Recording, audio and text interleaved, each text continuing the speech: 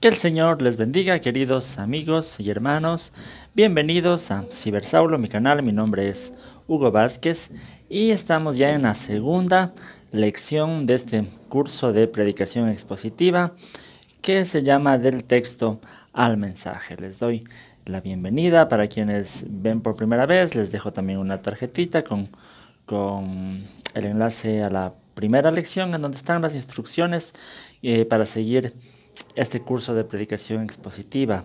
En, esta lección específicamente vamos a hablar acerca de estudiar el texto. Este sería el primer paso en concreto para empezar a elaborar un mensaje bíblico. El paso es estudiar el texto y aquí tenemos que poner en práctica todas las cosas que la hermenéutica bíblica, que la exégesis bíblica nos pueden aportar. Pero vamos a hablar solo de algunas cosas básicas que como predicadores tenemos que tener en cuenta.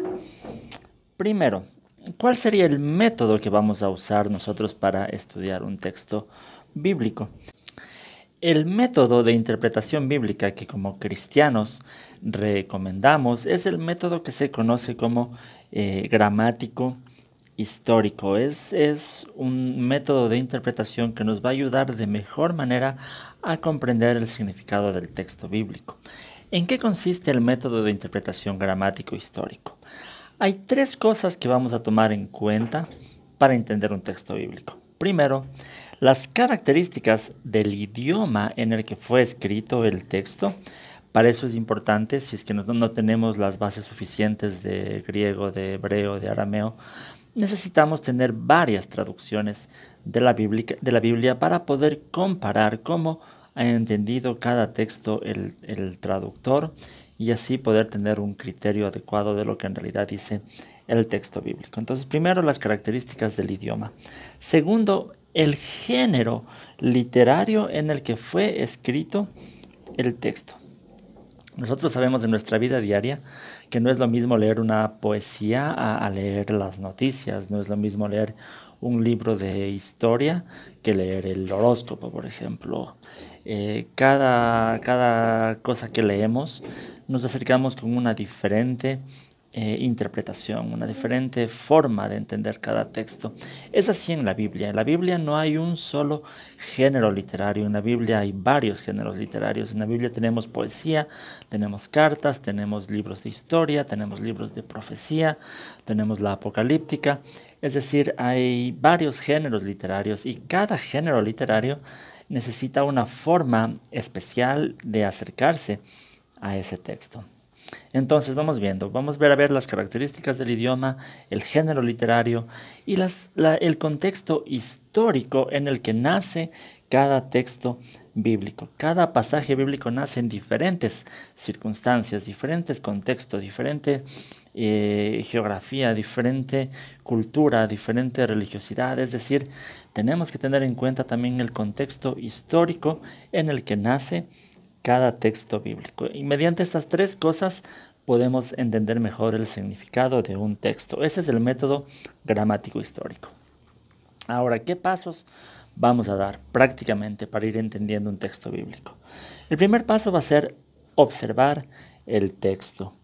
Es de suprema importancia leer con cuidado cada texto bíblico, como ya lo mencioné, una, dos, tres traducciones si tenemos más mucho mejor. Vamos a analizar cada uno de los detalles. Vamos a responder preguntas de qué está hablando el texto, de quién se está hablando, eh, eh, a quién se dirige, cómo lo está diciendo, cuándo, dónde.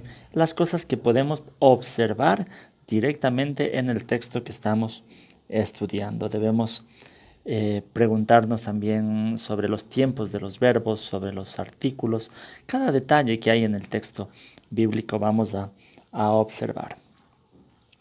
Después, el segundo paso será buscar el significado de palabras individuales.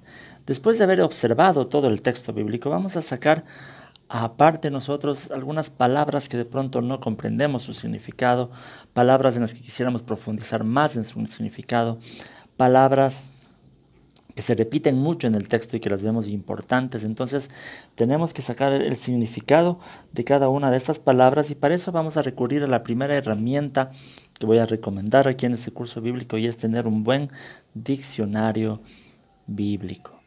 Eh, hay muchas herramientas que nosotros podemos ver eh, de forma ahora digital para el celular, para la computadora.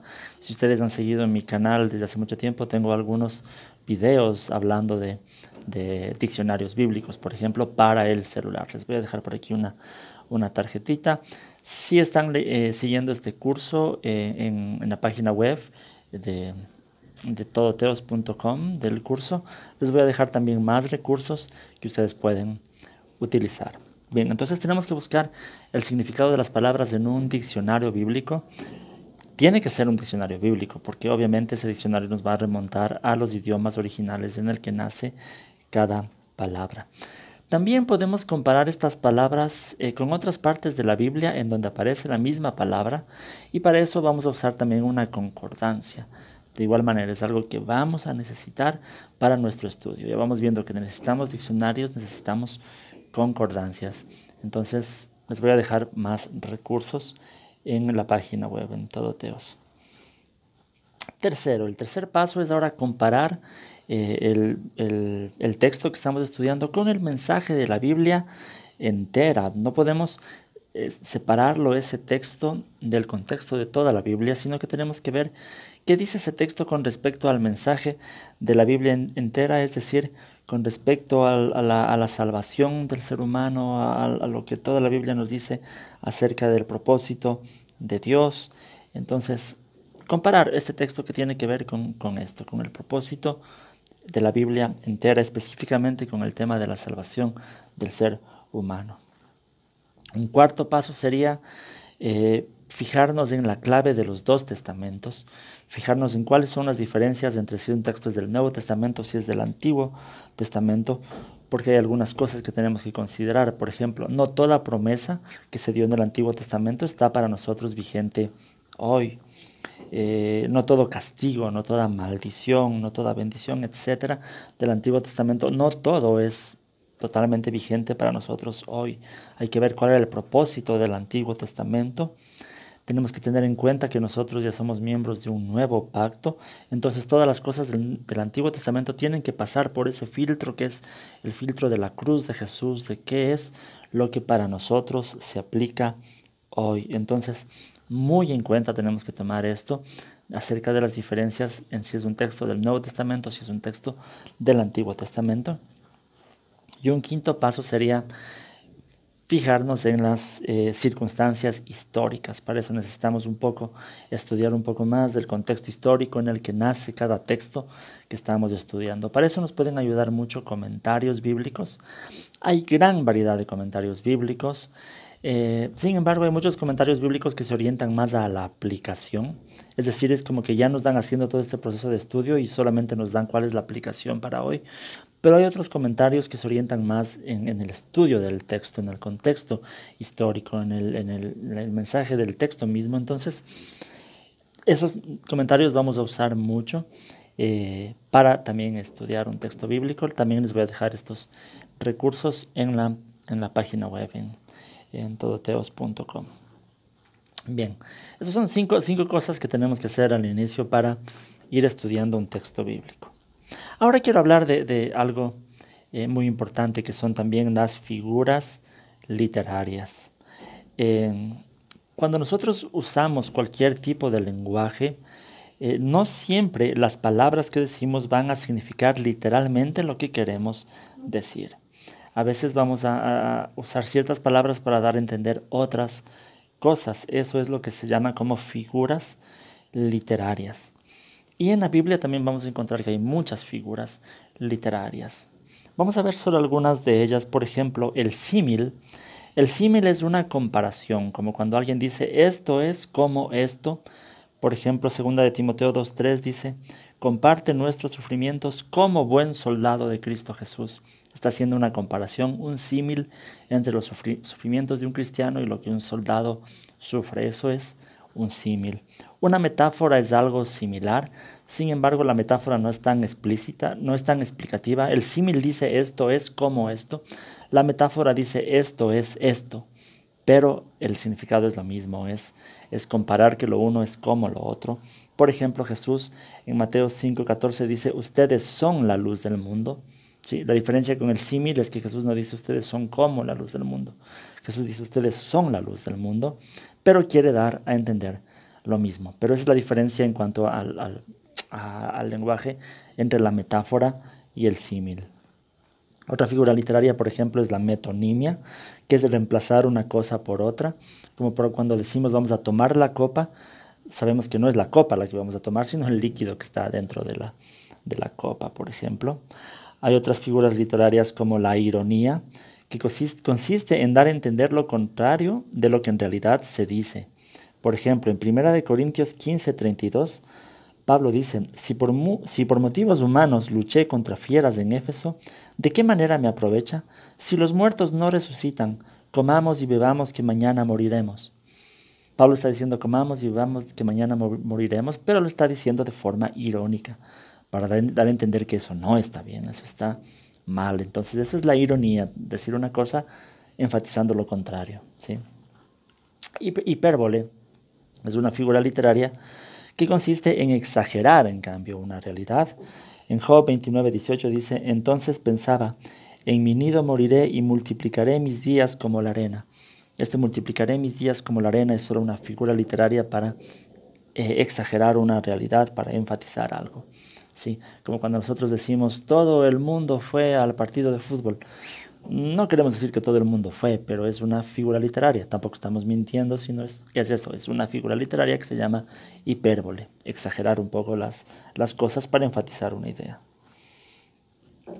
Un eufemismo consiste en reemplazar palabras para disimular una verdad desagradable o dura.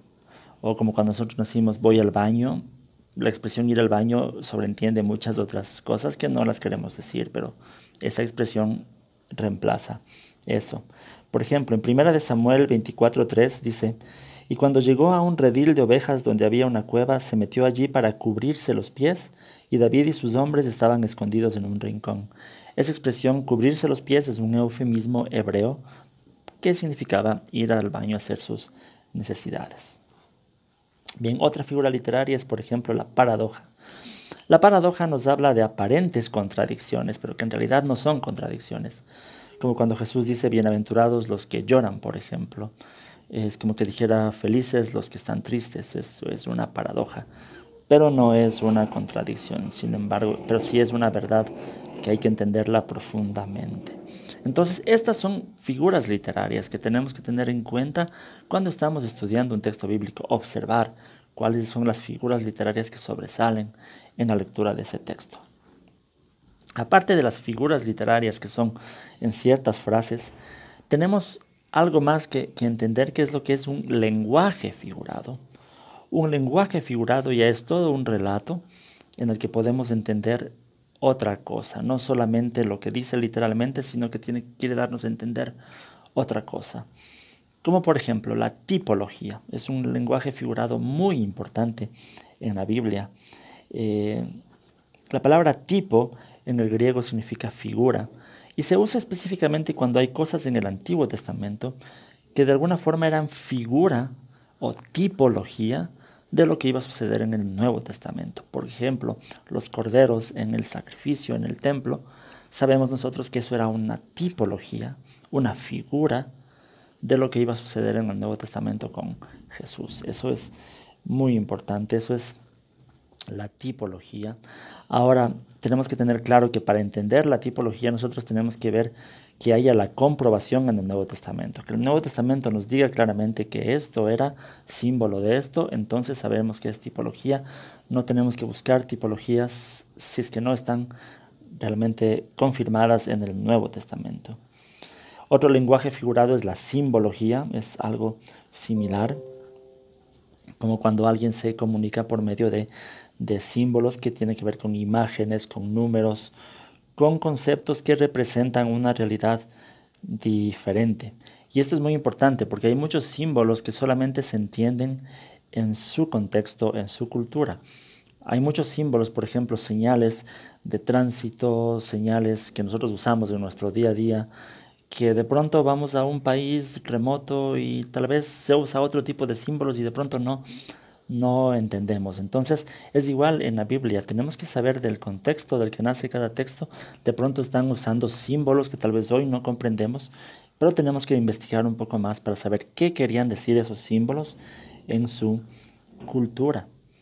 Eh, en el libro de Apocalipsis nosotros vamos a ver mucho, mucho lo que son los símbolos, lo que significaba para el pueblo judío el número 7, lo que significaba para eh, el pueblo judío el número 12, las bestias, cosas por el estilo. Entonces tenemos que entender eh, mucho los, los, símbolos. Les voy a dejar eh, un video también en una tarjetita acerca de cómo comprender los símbolos en, en, en la Biblia y también eh, tengo otro video, también les puedo dejar una tarjetita sobre cómo comprender el apocalipsis ya que tomamos ese, ese tema. Otro lenguaje figurado es las parábolas. Parábolas, en cambio, es toda una historia. Eso nosotros como cristianos los conocemos de memoria porque Jesús era especialista en enseñar en parábolas. Parábola es toda una historia que tiene un significado moral, un mensaje moral. Hay una idea central que es diferente a, la realidad de la parábola, pero que la parábola nos apunta a ese mensaje espiritual. Esa es, es la, la idea de una parábola. Parábola significa algo que está puesto al lado de, de otra cosa. Ese es el significado literal, pero se lo usa en ese sentido, en contar una historia para traer un, un mensaje moral, una idea central. Y aquí es muy importante eh, comentar esto, que una parábola tiene, se centra en una enseñanza moral. Una parábola no, no está para buscarle todos los elementos simbólicos en toda la parábola. A veces se comete ese error, se lee una parábola de Jesús y se trata de ver un significado para cada detalle de la parábola. Cuando la intención no necesariamente es esa, la intención es transmitirnos una enseñanza moral, una enseñanza sobre el reino de Dios, una enseñanza sobre el amor a Dios, o, la que quiere, Jesús quiere enseñar, pero se centra en esa enseñanza y ese es el tema central y no podemos desviarnos por otros detalles. E, en eso se diferencia la parábola con el siguiente género literario, o mejor dicho, la siguiente figura literaria, que es la alegoría. La, alegoría, si es en cambio, es un relato que tiene muchos detalles que son simbólicos y que hay que irles eh, entendiendo. En eso se diferencia la alegoría de la parábola. Por ejemplo, el Salmo 23, que es un salmo que todos nosotros conocemos, eh, es una alegoría, el Señor es mi pastor, nada me faltará, eh, y hay por ahí un, mensaje simbólico de comparar el, pastor con Dios, después, eh, aunque haya ande en valle de sombra, no temeré mal alguno, o, tu vara y tu callado me infundirán aliento. Cada, cada elemento es un símbolo de una realidad espiritual, eso es una alegoría debemos eh, recordar también que, que la alegoría está en estos libros de poesía, libros de profecía, no siempre o no necesariamente en libros de historia. Es un error muy común el tratar de buscar alegorías o cosas simbólicas en libros que solamente están o relatos que solamente están mostrando historia. Eso es un error. Si bien es cierto, si hay ciertas historias que podrían tener una aplicación alegórica. Por ejemplo, el apóstol Pablo en Gálatas 4, en los versículos del 22 al 25, dice, voy a la, la lectura del texto, porque está escrito que Abraham tuvo dos hijos, uno de la esclava y otro de la libre. El hijo de la esclava nació conforme a una decisión humana, pero el hijo de la libre nació conforme a la promesa, lo cual es una alegoría, pues estas mujeres son los dos pactos. El uno proviene en el monte Sinaí, el cual da hijos para esclavitud, este es Agar, porque Agar es del monte Sinaí, en Arabia, y corresponde a la Jerusalén actual, y esta junto con sus hijos está en esclavitud. Vemos que Pablo interpreta el relato este de, Abraham con Sara y Agar, con los hijos de la promesa y el hijo de la esclava, como una alegoría de lo que es el pueblo de Dios, de la promesa y, y el resto del mundo. Entonces, solamente cuando el Nuevo Testamento nos confirme que en ese relato del Antiguo Testamento hay una alegoría, podemos estar seguros de que hay una alegoría. Si el Nuevo Testamento no nos da una confirmación, mal podemos hacer nosotros en tratar de buscar alegorías en, en historias del Antiguo Testamento o en relatos históricos. Eso es un error de interpretación. Bien, hasta aquí hemos visto algunas cosas importantes sobre cómo ir estudiando el texto bíblico y cómo fijarnos en, los temas que son las figuras literarias, eh, las eh, figuras literarias y eh, lo que hemos visto aquí, los últimos que son lenguaje figurado, figuras literarias y lenguaje figurado. Estas cosas son muy importantes para entender un texto bíblico.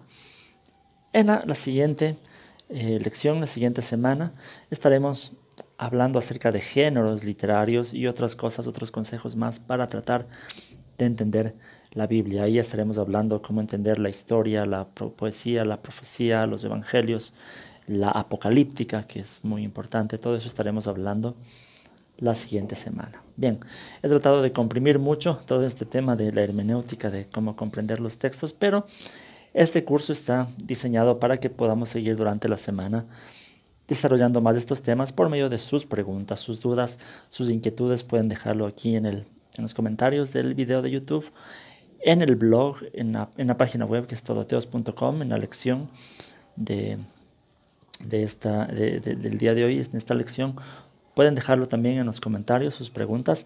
Recuerden que si ustedes quieren seguir este texto y recibir un, este, este curso y recibir un certificado al final, tienen que comentar todas las, las lecciones en la página web, todoteos.com. Y tienen que suscribirse a la página web para que les esté llegando más eh, cosas importantes. Y, y, bueno, las instrucciones también están ahí en la, en la página web. Díganme qué, qué piensan sobre sobre estos, estos temas. Para mí siempre es un placer poder estar aquí con ustedes compartiendo este curso que lo tenía, tenía muchas ganas de, darlo.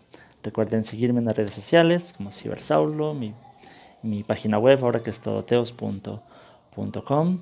Eh, estoy usando mucho el Instagram también, si ustedes desean pueden seguirme en esas cuentas. Tengo una cuenta de Cibersaulo, que es mi cuenta personal, y tengo la cuenta Todoteos también en el Instagram que ustedes pueden, pueden seguir.